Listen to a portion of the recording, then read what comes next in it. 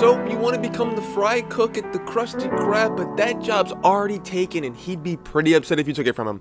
Hey guys, welcome back to Tuts by Kai. I'm Kai and Taylor back once again taking a look at how to change the way your viewport looks in Blender. So let's go ahead and get started right off the bat. If you have a scene like this, you can see, you know, have regular objects, regular things, whatever, da da da. You have a couple things here, Suzanne, a couple of cubes, you know, some books on a shelf.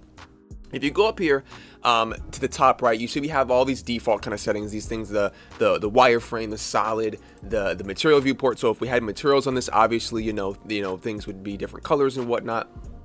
Um, and we of course have the render viewport shading. And if we have a light in the scene, then you can see we can see things a little bit uh, a little bit easier than we than we were. All right, so that's these are all the basic things that that we all uh, we all already know about. So let's go ahead and go back to solid viewport shading. And we'll take a look at this little drop down here. This little drop down. If we hit this little drop down, um, how many times when I say this, this little drop down? Uh, probably about four more. Let's get it. Um, we can see lighting up at the top here has studio, matcap, and flat. Three different kind of choices that we have here. So if I if I swap this to matcap, you can see things kind of switch a little bit. They look a little a little different. And me personally, I actually like the way the matcap looks a little bit better than the regular studio. Um, and of course we have flat, which is literally just um, you know, flat color, which would be nice if you're doing some certain things, but definitely not for this because we can't see anything. That's just solid white.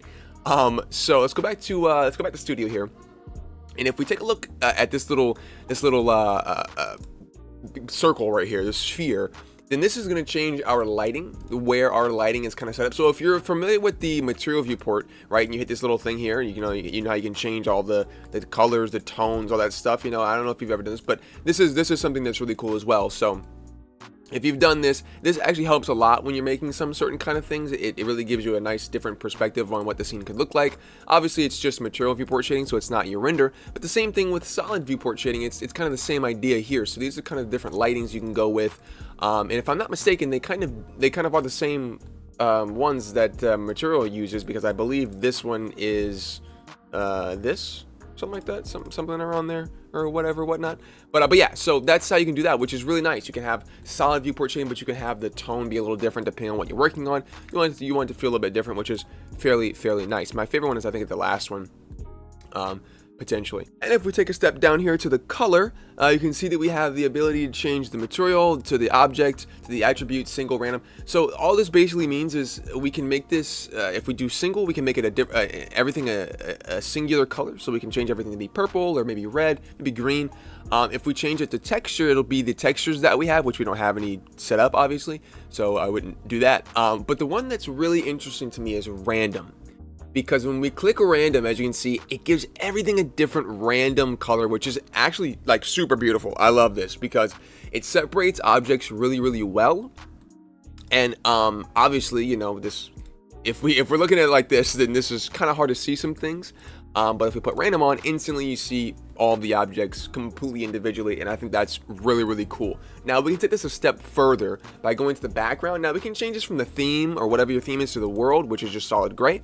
Um, my theme background is also gray, so it doesn't change too much. But if your if your world, if your if your Blender theme is a super different color, then that'll help, obviously. But the thing that's gonna really really like make this super cool is this bit down here, the cavity bit. So if I click cavity, instantly you can see what it does, which is so so super cool. It gives it that nice highlight and shadow effect going on with everything. So it's kind of like a mimic of, like I said, edge, like edge highlights, and then ambient occlusion.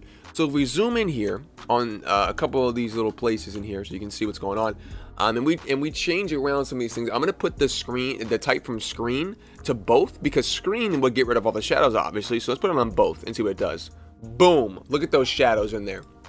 Now, if we uh, go back and forth, you can see the difference is, is quite substantial. But if we want to make this even brighter, we can go ahead and change the ridge which makes it like so that the the there's like highlights like a, a, softer highlight on the edges as well as the the sharper highlight which is very very cool. So i'll put that maybe about 1.5 and then if we want to change the valley the valleys would be the creases. The valleys would be the the the shadows the the, the deeper the deeper pieces. So let's go ahead and put that on maybe 1.7 something like that. That's pretty cool um, and then of course we can change the actual thickness of all these as well. So the brightness of the ridge, we can make it a little less bright, and the the, the the brightness of the uh, the valleys, which is the hard edges for the shadow, which I don't really like too much. So we might actually just remove that all together.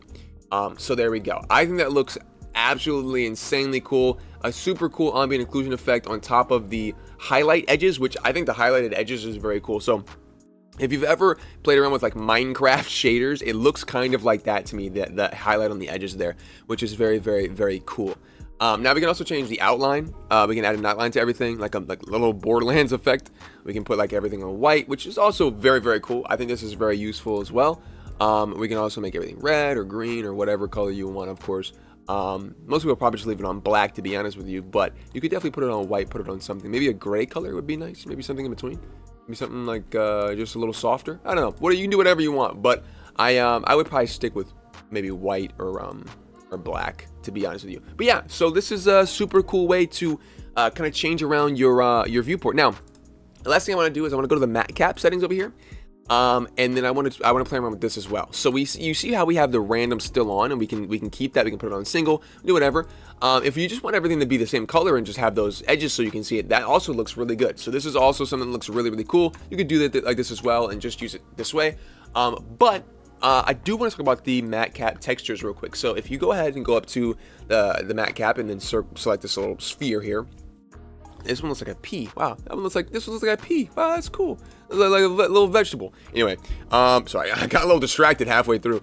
Um, you can you can go and do a lot of these different uh, a lot of these different textures, materials, which look super cool. That's insane. Like that is the coolest thing. Um, they, they a little chrome one here as well. The chrome one looks really cool. It's like that episode, that one episode of SpongeBob. SpongeBob reference in the beginning. Everything's coming together. Sorry, that was an Emperor's New Groove reference. Um, this one looks like uh, I don't know Dookie. I don't know what that one's supposed to be, but it's listen. You can do this one's like clay. This is what you use to sculpt. This is actually a really good sculpting uh, matcap because um, because it's a it's really nice natural color, natural tone. So it looks really nice. It looks really nice. It looks like it looks like clay as well. So I have the shiny one here. You have a bunch of different options, is what I'm saying. So very very cool stuff you can do here with all of these. And of course, if you want to keep the the color on random, you could still do that and make everything be random color, but it is still of, of that like metal look or you know maybe the the the more clay look. It's a little harder to tell here, but um, what does the green look like? Yeah, it's a little harder to tell with the ones that have color to them, but the ones that are like just supposed to be glossy or shiny or metallic, very cool stuff. So ladies and gentlemen, I hope you guys saw something new. I think this was meant to be skin, I believe. Let's take random off. Yeah, I think this was supposed to be like a, a more skin tony kind of thing. Super light skin tone, but still, that's pretty cool. I hope you guys enjoyed today's video. Hope you learned something new today. Um, go ahead and make your uh, viewports look super cool. I will see you guys in the next tutorial, but until then, bye-bye.